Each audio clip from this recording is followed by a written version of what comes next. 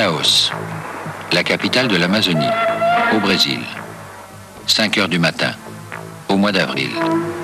Une équipe de l'aventure des plantes, le professeur Jean-Claude Ayon, botaniste, et le caméraman Philippe Fagnan s'embarquent sur le Rio Negro. À Manaus, le fleuve est large et le courant est fort. Il s'agit, pour Jean-Claude et Philippe, de le remonter pendant quelques heures, jusqu'à trouver de l'eau calme. La plante qu'ils cherchent vit à l'état sauvage dans les bras morts du fleuve.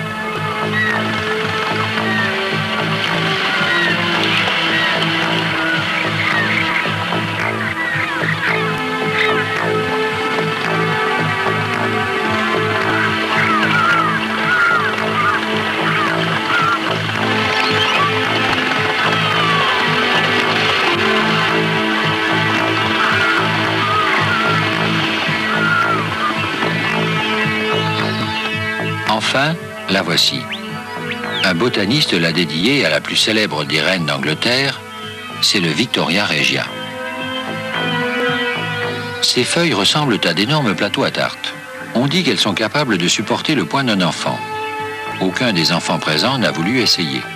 Il y a tout de même dans l'eau des piranhas et des serpents venimeux.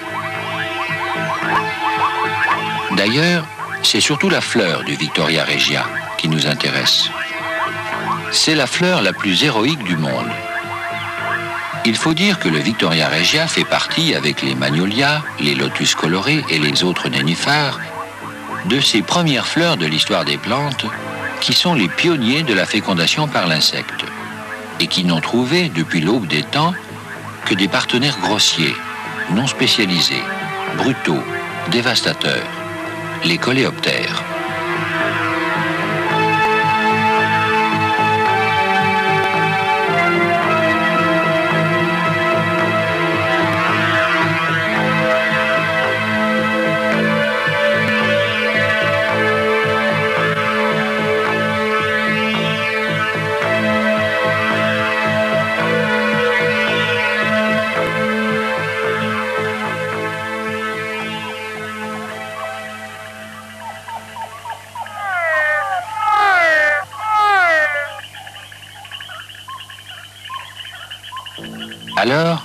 Voici ce que fait la fleur.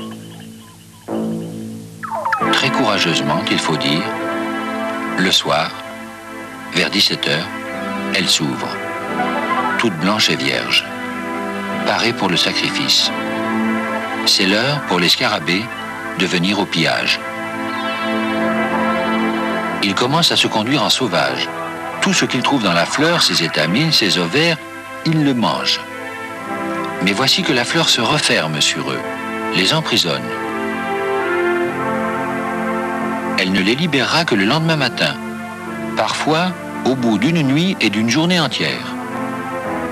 Évidemment, pendant ce temps, les coléoptères déchaînés saccagent tout à l'intérieur. Tant pis, la fleur supporte stoïquement. L'important, c'est que pendant ce temps, ils se chargent de pollen et en déposent aussi sur les ovaires au moins sur ceux qui échapperont au massacre. Enfin, c'est la libération des prisonniers. Entre-temps, les fleurs ont pris une coloration rouge et ont perdu leur odeur. Les scarabées n'ont pas souffert, pour eux ça va très bien, merci. La fleur par contre est dévastée. Mais s'il y reste un ovaire non dévoré, sur lequel ils ont laissé du pollen, ça suffit. C'est à ce prix que le Victoria Regia paie sa fécondation. Pour assurer la descendance, il faut payer tribut aux barbares.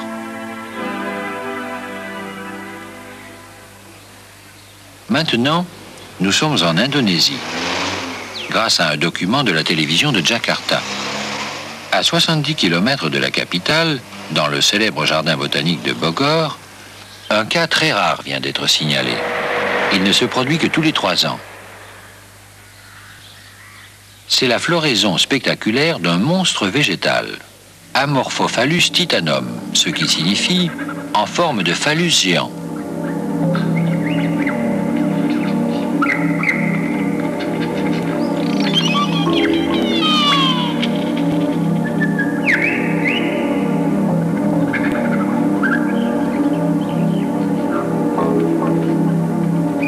Un monstre floral qui peut atteindre 1,50 m de hauteur en deux ou trois jours et à la vitesse incroyable d'un centimètre par heure.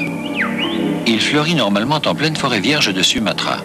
C'est une sorte d'arôme géant qui dégage une odeur abominable pour attirer des scarabées qui vont le dévaster, mais aussi le féconder. Après quoi, il disparaît, pour au moins trois ans. Ce genre de fécondation primitive nous ramène à l'ère secondaire. Dans les pays tempérés, on peut voir des coléoptères de toutes sortes atterrir par hasard sur des fleurs évoluées, où ils n'ont rien à faire d'intelligent. Que la fleur soit moderne, dotée d'un équipement sophistiqué pour attirer les abeilles, ça leur échappe complètement.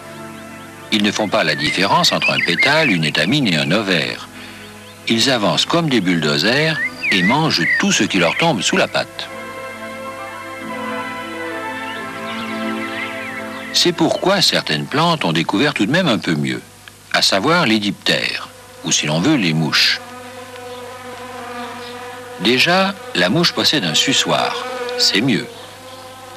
Ça lui permet de faire moins de dégâts dans une fleur.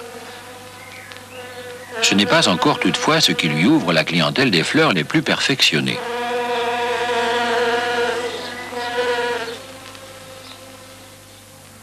À ce propos, voici l'histoire d'un autre monstre végétal.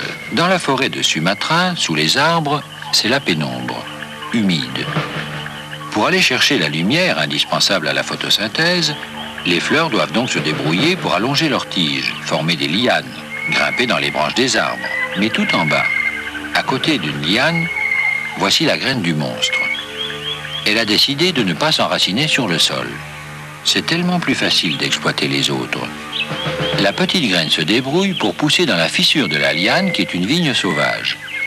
Elle se développe en la vampirisant, juste assez pour qu'elle puisse continuer à faire la photosynthèse à son profit. Elle devient un bouton qui devient gros comme un chou, qui explose et qui devient une fleur énorme. Un monstre de fleurs, sans racines, sans tiges, sans feuilles, puisque c'est la liane qui a tout ça pour elle une fleur champignon qui peut mesurer jusqu'à un mètre de diamètre et peser une dizaine de kilos. C'est la plus grosse fleur du monde. La plus horrible aussi. Pourquoi? Eh bien parce qu'elle a besoin d'être pollinisée, comme tout le monde, donc visitée par des insectes. Mais lesquels? Les papillons, vous pensez bien, sont là-haut, au soleil, avec les fleurs fréquentables. Alors il reste les mouches. Et pour attirer les mouches, la fleur vampire monstrueuse imite la consistance, la couleur et la puanteur d'une viande en décomposition. Les mouches sont attirées dans une sorte de cratère d'où elles ressortent complètement abusées, mais saupoudrées du pollen du monstre. Il s'appelle le Rafflesia arnoldi. Tout de même, ne disons pas trop de mal des diptères. Ce sont des pollinisateurs moins brutaux que les coléoptères.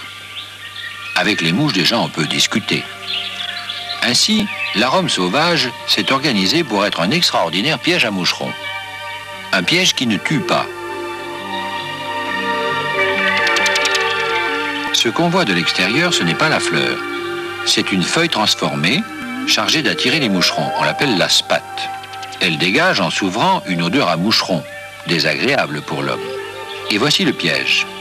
À l'intérieur, en bas, les fleurs femelles. Au centre, des fleurs mâles. En haut, des fleurs femelles, mais stériles. Alors à quoi servent-elles? Eh bien, vous allez voir. Dans un premier temps, les fleurs femelles du bas produisent des gouttelettes de nectar pour attirer les moucherons qui les piétinent et les fécondent en y déposant du pollen qu'ils apportent avec eux d'un autre arôme.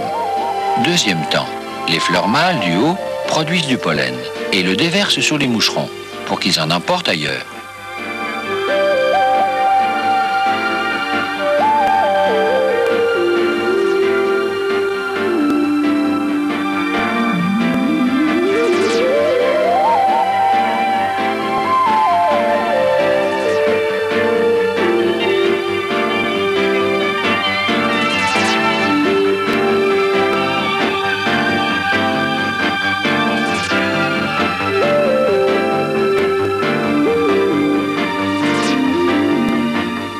Voici à quoi servent les fleurs femelles stériles, tout en haut. Elles ont allongé leur organe femelle, leur style, de façon à former une grille pour retenir les moucherons, juste le temps qu'il faut. La grille ne s'ouvrira, en se fanant, qu'une fois le travail des moucherons terminé. Ils resteront prisonniers tant que l'arôme ne sera pas fécondé. À mesure que la plante noue des relations avec des insectes de plus en plus raffinés, elle améliore donc sa technologie. Certaines mouches sont d'ailleurs beaucoup plus fines mouches que d'autres. Ainsi, les syrphidés. Leur bonne éducation se devine à leur élégance raffinée et se constate par deux perfectionnements. D'abord un corps velu, capable de fixer le pollen, mais aussi la première ébauche d'un instrument qui sera industrialisé par les papillons, une trompe, un peu plus allongée que le suçoir, ce qui leur permet de sonder des fleurs un peu plus profondes. Mais ce ne sont jamais que des mouches technocrates. Nous allons voir beaucoup mieux. C'est avec les lépidoptères, en gros les papillons, que la pollinisation devient une spécialisation et une technique beaucoup plus développée. D'abord, le régime alimentaire du papillon est beaucoup plus strict. Il ne se nourrit que de nectar, ne touchant ni au pollen ni au tissu de la fleur. Selon leur mœurs, les papillons assurent un service de 24 heures sur 24. Quant à la productivité, elle est tout simplement fabuleuse. Un papillon butine parfois une fleur en moins d'une seconde, la plupart du temps sans s'y poser. Pour avoir le temps de l'observer, il faut utiliser le ralenti. Un papillon peut butiner plus de 25 petites fleurs à la minute, soit 2 secondes par fleur, voyage compris.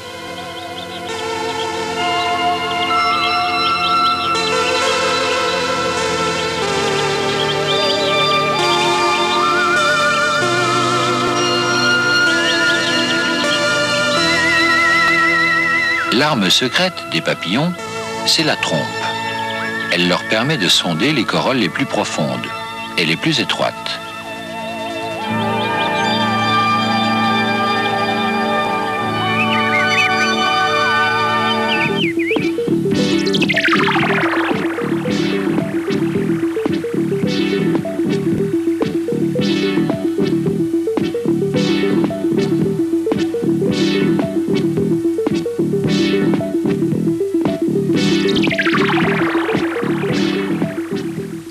Voici la vraie pollinisation scientifique, celle des hyménoptères.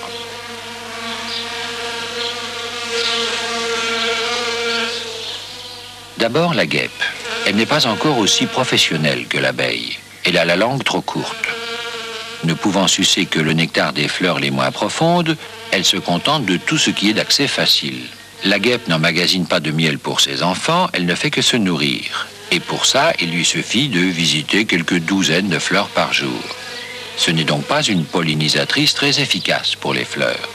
D'ailleurs, la nature a son ordinateur. Elle s'arrange pour que les guêpes et les abeilles ne se gênent pas trop. La sortie des guêpes n'est programmée que pour le milieu de l'été, ce qui les amène à exploiter les fruits sucrés autant que les fleurs faciles.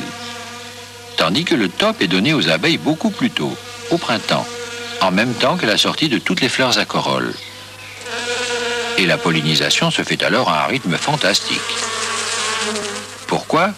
Parce que l'abeille qui doit faire des provisions pour ses bébés est condamnée à amasser 25 fois plus de nectar qu'elle n'en consomme elle-même.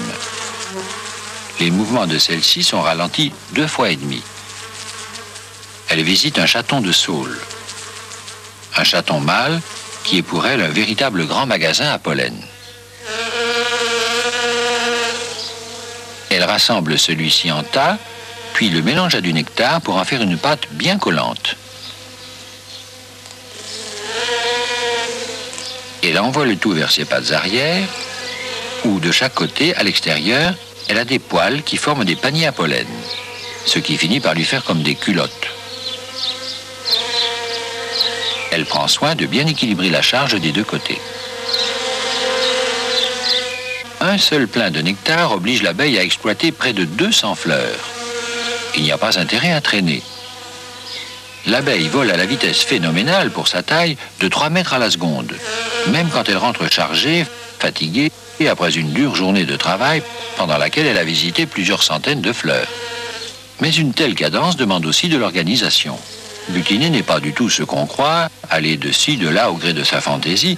C'est du travail à la chaîne. En fait, l'abeille fait du staccanovisme.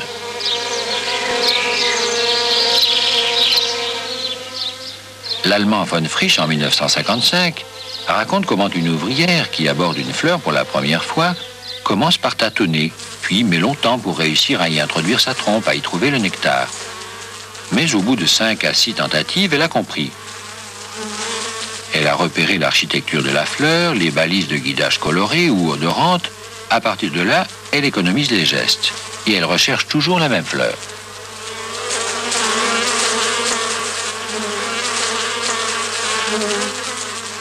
Voici un aconite, proche de l'aconite des Alpes, mais d'origine chinoise.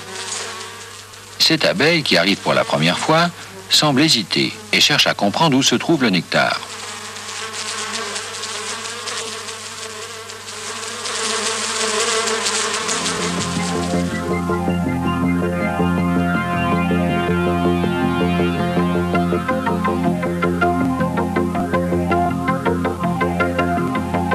Ce n'est pas évident pour elle. En effet, dans les aconites, le nectar est caché sous un grand capuchon que seuls les bourdons ont la force de soulever. D'ailleurs, ce sont eux qui pollinisent généralement ces fleurs. Voici les deux pétales que l'aconite a transformés en distributeurs de nectar. On voit très bien le nectar briller en haut et à droite.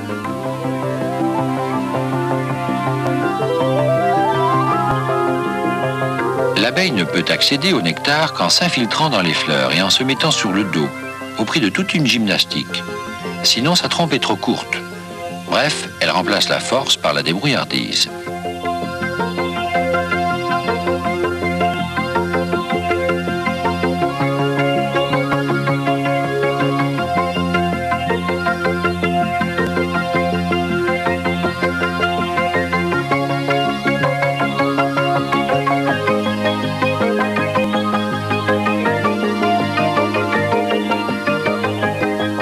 Assurer sa reproduction, l'aconite s'y prend en deux temps.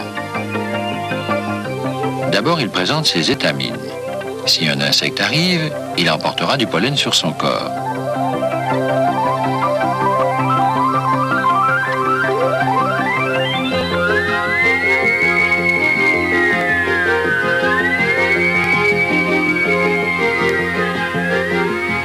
Dans un deuxième temps, l'aconite écarte ses étamines et présente bien au milieu son organe femelle.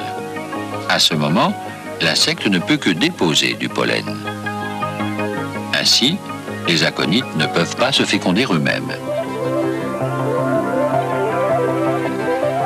Maintenant, votre attention s'il vous plaît. Voici le champion poids lourd, le Cassius clé des insectes pollinisateurs, à la fois le punch et la technique, le bourdon. Et d'abord, voici l'histoire du bourdon et de la marine britannique. Pour les écologistes, elle est classique. Il faut d'abord dire que la fleur de trèfle, elle aussi, est activement pollinisée par les bourdons. À tel point que l'introduction du bourdon en Nouvelle-Zélande, à la fin du siècle dernier, s'est traduite par une hausse spectaculaire de la récolte du trèfle. Grâce à quoi aujourd'hui les Néo-Zélandais, envoyant de la viande de bétail à l'Angleterre à un prix compétitif, perturbent le marché commun européen. Mais restons en Angleterre. Darwin écrit Le bourdon visite seul le trèfle rouge, parce que les autres abeilles ne peuvent pas en atteindre le nectar. Nous pouvons donc considérer comme très probable que si le genre bourdon venait à disparaître ou devenait rare en Angleterre, le trèfle rouge deviendrait aussi rare ou disparaîtrait complètement. Or, le nombre des bourdons dépend dans une grande mesure du nombre des mulots, qui détruisent leur nid et leur rayon de miel. Or, le colonel Newman, qui a longtemps étudié les habitudes du bourdon, croit que plus des deux tiers de ces insectes sont détruits chaque année en Angleterre par les mulots. D'autre part, c'est toujours Darwin qui parle, chacun sait que le nombre des mulots dépend essentiellement de celui des chats. Et le colonel Newman ajoute J'ai remarqué que les nids de bourdons sont plus abondants près des villages et des petites villes, ce que j'attribue au plus grand nombre de chats qui détruisent les mulots. Il est donc parfaitement possible que la présence d'un animal félin dans une localité puisse déterminer dans cette même localité l'abondance de certaines plantes, en raison de l'intervention des souris et des bourdons. Voilà donc ce qu'écrit Darwin. Ce à quoi l'allemand Haeckel a ajouté, mais le trèfle, abondant grâce au chat, sert de nourriture principale au bétail.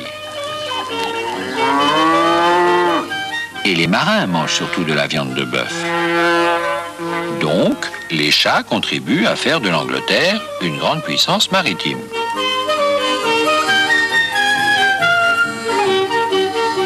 Après quoi, Thomas Huxley alla plus loin en suggérant que les vieilles filles anglaises, en raison de leur amour immodéré pour les chats, sont à l'origine de la puissance de la marine britannique. Enfin, le français Fichesser, poussant la pointe humoristique à son terme, estime que la puissance maritime de la Grande-Bretagne, en privant les épouses de leurs maris et en vouant beaucoup d'hommes au célibat, a une évidente incidence sur le nombre de vieilles dames anglaises amoureuses de leurs chats. Ainsi, la boucle est bouclée. Tant qu'il s'agit de pénétrer dans des corolles profondes, comme la digitale, ou de visiter des fleurs ouvertes, pour le bourdon, c'est de la promenade. Là où il est imbattable, c'est quand il s'agit de sonder des fleurs où le nectar est caché au fond d'un éperon étroit et profond. Le chèvrefeuille, la capucine, le delphinium, par exemple.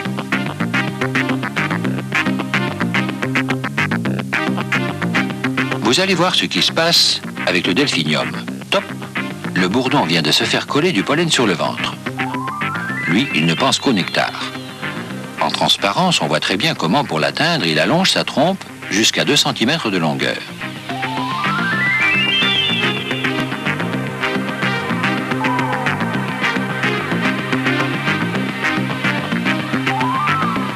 Vous voulez voir mieux fonctionner la trompe? Voilà.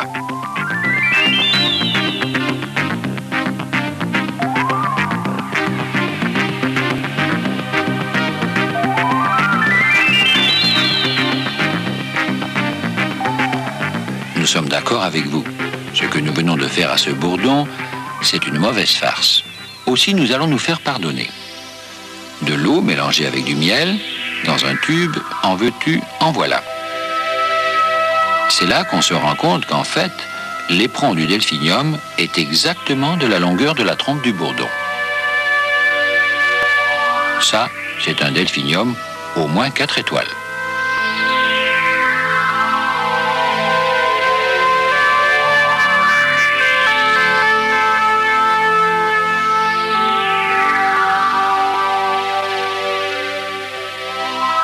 Tous ces exemples montrent en fait que si l'insecte dans l'évolution fait un effort vers la plante, il n'est pas le seul. La plante réussit de son côté à faire un effort vers l'insecte, en animalisant en quelque sorte cette partie d'elle-même qu'est la fleur. Par l'intensité, la profondeur des relations qu'elle entretient avec les insectes, la plante est en quelque sorte mise en demeure d'adapter sa forme à leur anatomie et à leur mœurs. Elle finit par avoir, comme l'insecte, un comportement acquis. Depuis des millions d'années que l'aventure a commencé, qui donc s'est le plus adapté à l'autre? L'insecte ou la fleur? En fait, comme de vieux amoureux, ils ne peuvent plus se passer l'un de l'autre.